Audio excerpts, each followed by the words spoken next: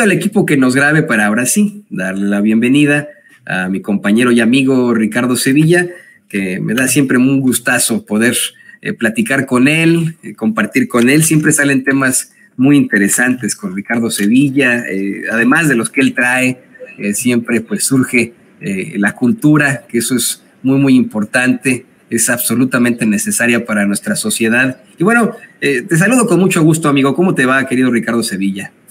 Muy bien, querido Toño, público memorioso. Estoy muy feliz, muy exultante, la verdad, por varias cosas. Una de ellas es que el presidente López Obrador habla de uno de mis ídolos intelectuales, del gran eh, Juan Sarabia, y desde luego acompañado del gran tocayo Ricardo Flores Magón, que por cierto debo decir que fue contemporáneo de una tía abuela mía que eh, se llamaba Juana Belén Gutiérrez de Mendoza, prácticamente el mismo nombre que tiene mi madre, y ella fue una periodista, una periodista antiporfirista que fue eh, fundadora de un diario, un diario bastante contestatario que se llamaba en la época Vesper, y bueno, pues estoy yo muy contento por eso por un lado, y por otro lado, estoy más contento aún porque Enrique Krause, y justamente tiene que ver con este tema, porque eh, hice un pequeño hilo en Twitter hablando justamente de Ricardo Flores Magón y de su hermano Enrique Flores Magón, que era eh, un personaje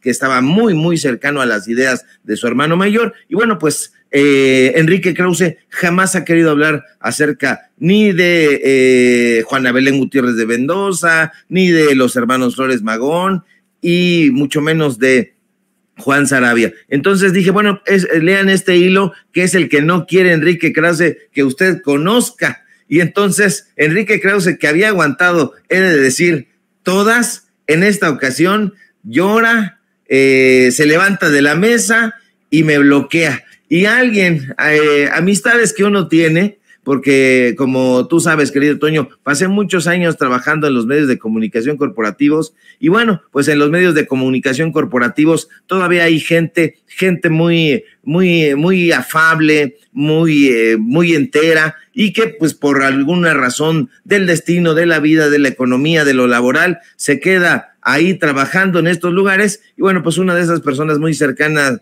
al ingeniero en fraudes y fake news me dijo, oye, ya hiciste llorar aquí.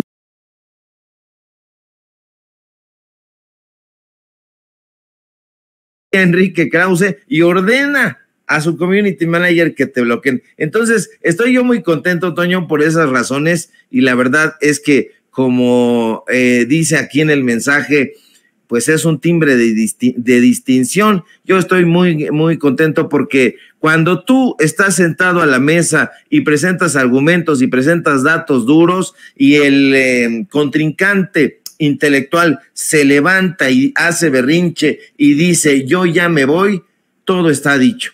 Y está dicho porque no tiene argumentos, porque no tiene ideas, porque ha decidido marcharse ya no tiene nada que decir. Y bueno, pues estos periodistas de dudosa reputación, como nos califican ellos, pues aquí estamos dando la batalla y estamos bien sentados y bien posicionados frente a la gente, que es a la que hay que darle la cara. Entonces estoy muy contento. Una respuesta larga a tu pregunta, querido Toño. Yo, eh, te, pues te mando mi felicitación sobre este, este incidente tan interesante.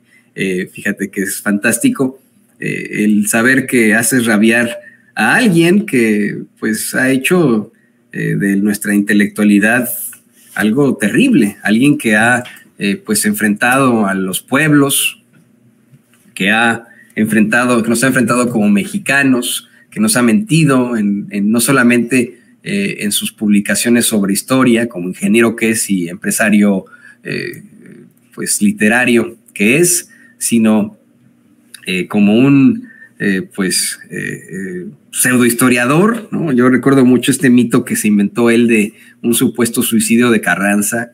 eso es lo que él asume, ¿no? Por ejemplo, sin ningún tipo de base, de, dato duro, de, prueba. Él asume que Carranza se suicidó en una publicación que leí hace algún tiempo en mí. Bueno, yo me fui de espaldas cuando escuché esto y me da mucho gusto que hayas podido tocar su corazón para que se dé cuenta. Al menos te leyó en eso eh, sabe que, lo criticaste, que lo cuestionaste, tú sí, con datos duros, eh, con todo el poder de tu pluma, querido Ricardo.